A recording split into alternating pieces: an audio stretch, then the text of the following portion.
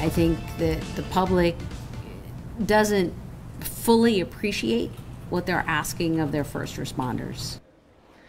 A fatal start to 2019 for first responders after seven weeks of deaths. A plea from the Hamilton County coroner. You'll recall Colerain Township Officer Dale Woods. He was killed on January 4th when he was hit by a vehicle at the scene of a car crash. Police are still investigating that. But right now, there are no charges in that case. And just last week, a Clear Creek Township officer was killed in a crash. A driver who was accused of being under the influence hit Jared Lee head on as he was on his way into work. Two other officers died in December. One took his own life, and another died shortly after retiring.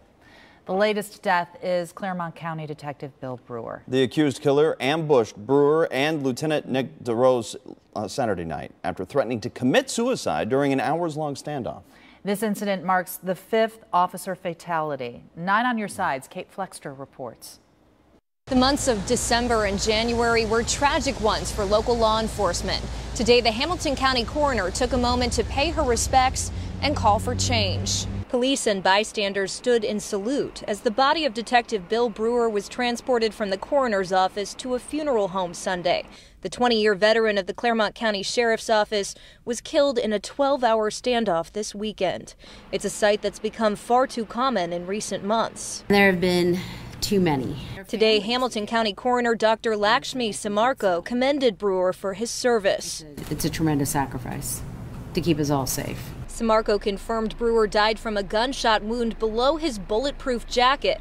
It's the fifth officer fatality in what's been a tough two months for law enforcement. I think that the public doesn't fully appreciate what they're asking of their first responders. The first death happened in mid December when retired Harrison police officer Scott Jenkins passed away suddenly.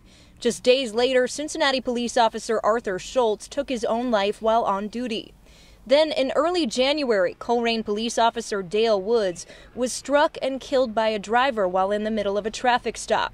Weeks later, Clear Creek Township officer Jared Lee was killed in a crash while off duty. I give condolences to both families, blood and blue uh, because this is really difficult. Gene Ferrara, who spent five decades in law enforcement, spoke about the dangers of the job. You don't spend every day worrying and thinking, oh my God, I could die today. But you know it's there. Dr. Sammarco also took a moment to drive home a national need to focus on mental health. Reporting in Cincinnati, Kate Flexter, 9 on your side.